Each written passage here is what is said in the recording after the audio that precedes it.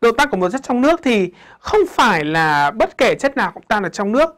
Ví dụ như là khi mà chúng ta hòa tan vôi sống ở trong nước chẳng hạn thế thì chúng ta sẽ đến một mức độ nào đó mà vôi sống nó vẫn còn những cái phần vẩn đục ở bên dưới một cái phần nó gọi là huyền phù hay là cái phần người ta gọi là vôi sữa.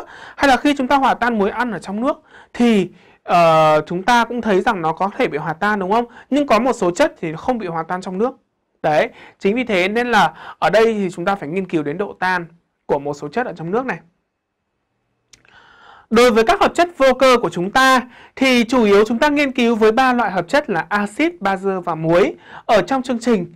Đúng không? Thì bây giờ chúng ta cũng lần lượt đi qua ba cái loại chất này là axit, bazơ và muối để xem xem là với ba loại chất này thì những chất nào tan và những chất nào nó khó tan các em nhé.